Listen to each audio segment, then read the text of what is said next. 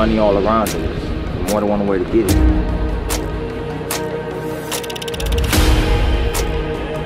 All he wanted to do, be honest, just like me. I looked in his eyes, all I saw was innocence. Reminded me when I was a kid, that blissful time in life where you can just be happy.